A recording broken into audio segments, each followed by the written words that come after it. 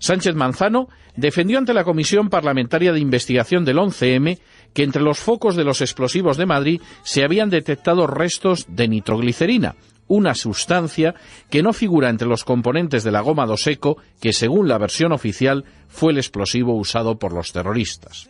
Convocado por el juez del Olmo para aclarar esa declaración, Sánchez Manzano aseguró que había sido un error y que en vez de nitroglicerina había querido decir dinamita.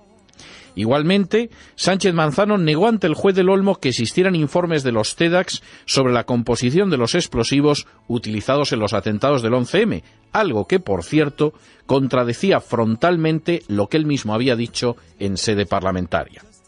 De forma semejante, Sánchez Manzano contradijo también su primera versión sobre la furgoneta de Alcalá, en agosto de 2004, había dicho que había examinado la Kangoo tres minutos después de que llegara a Canillas y que solo había encontrado la bolsa con los detonadores bajo el asiento situado al lado del del conductor.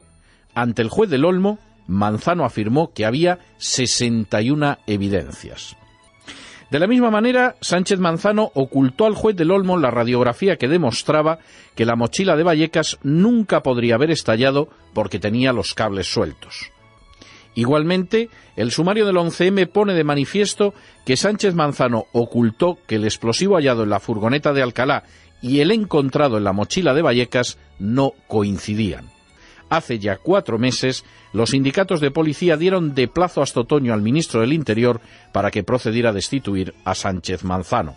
Hasta la fecha no habían sido atendidas sus demandas. Dentro del dilatado tablero de ajedrez que forma la trama del 11M, da la sensación de que los defensores de la posición oficial acaban de sacrificar una pieza más. Se une así, entre otras, a los tres mandos policiales encausados por falsificar presuntamente un documento en el que se indicaba las relaciones entre ETA y el 11M, y a la de otros policías que supuestamente traficaron con explosivos.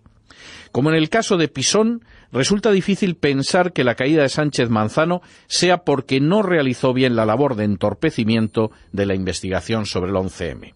Más bien, da la sensación de que al haber quedado en evidencia, su sacrificio era obligado para evitar que la investigación prosiguiera hacia sus superiores y provocara, por ejemplo, la dimisión del ministro del Interior.